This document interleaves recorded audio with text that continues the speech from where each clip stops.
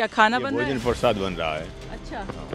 प्रसाद बन रहा है? हाँ संत भक्त जो रुकते हैं हाँ। यहाँ सेवादार उनके लिए भोजन प्रसाद बन रहा है। अच्छा। और ये यहाँ ग्राउंड में क्या होता है और ये कमरे कैसे बने हुए क्या है ये? यहाँ सेवादार रुकते हैं इधर रसोई घर है ये। तो यहाँ पे जैसा आपने बताया कि यहाँ पे सेवादार वगैरह रहते हैं यहाँ पे प्रसाद बनता है और 2014 के पहले जो है यहाँ पर सत्संग हुआ करता था। ये है कासगंज ज़िले के पटियाली के बहादुर नगर गाँव में भोले बाबा का आश्रम। और आइए आश्रम के अंदर आपको दिखाते हैं कि क्या कुछ है। ये देखिए, ये पूरा सामने एक मैदान है और यहाँ पर आप कुछ यहाँ के स्थानीय लोग देख सकते हैं। और हालाँकि बाबा यहाँ पर 2014 के बाद से नहीं आए काफ़ी साल हो चुके हैं, लेकिन फिर भी यहाँ पर भक्त आते हैं, हर मंगलवार को आते हैं। यहाँ पर हम खाना बनते हुए देख सकते हैं। आप स्थानीय इनके? मैं पटियाली का हूँ। पटियाली का? जी। ये यहाँ पे क्या खाना बन रहा भोजन है? प्रसाद बन रहा है। अच्छा। हाँ। प्रसाद बन रहा है? हाँ संत भक्त जो रुकते हैं हाँ। यहाँ सेवादार उनके लिए भोजन प्रसाद बन रहा है। अच्छा। और ये यहाँ ग्राउंड में क्या होता है और ये कमरे कैसे बने हुए क्या है ये? यहाँ सेवादार रुकते हैं इधर रसोई घर है ये। दो कमरे रसोई के हैं और जब अच्छा। सेवादार रुकते हैं। तो सत्संग वगैरह होता है यहाँ? पहले होता था यहाँ मतलब 2014 से पहले होता था। उसके बाद फिर होता था? इसी में बैठते थे सभी भाई बहन हाँ वहाँ पर। हाँ। ठीक है। तो ये थोड़ा वैसा नहीं लगता कि मतलब बाबा इतने सारे साल मतलब इतने साल बीत चुके हैं तब से वो नहीं आए हैं। लेकिन फिर भी मतलब व्यवस्थाएँ यहाँ पे हैं व्यवस्थापक सारा कुछ देख रहे हैं तो ऐसा नहीं लगता कि उनको आना चाहिए?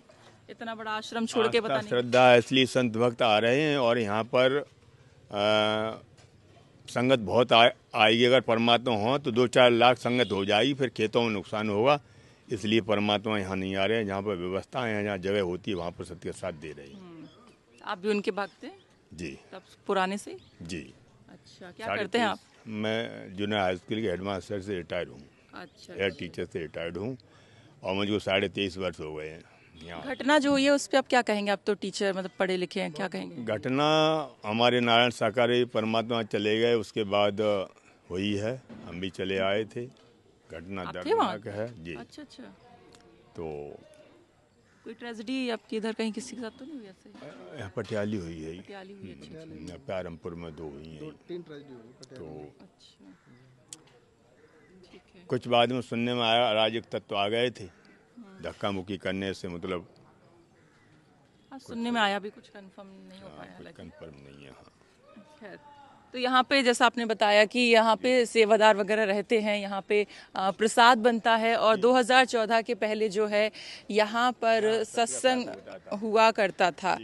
लेकिन हालाँकि अब बाबा जी नहीं आते हैं लेकिन यथावत यहाँ पे देखिए सफ़ाई होती है खाना बनता है प्रसाद वितरण होता है ये सारी चीज़ें हैं। और यहाँ पर जो भोले बाबा को लोग हैं वो भोले बाबा के नाम से नहीं बल्कि परमात्मा के नाम से उन्हें पुकारते हैं। नारायण साकार परमात्मा के नाम से उनको यहाँ पर पुकारा जाता है। यूपी तक के लिए पटियाली से सरिता तिवारी की रिपोर्ट।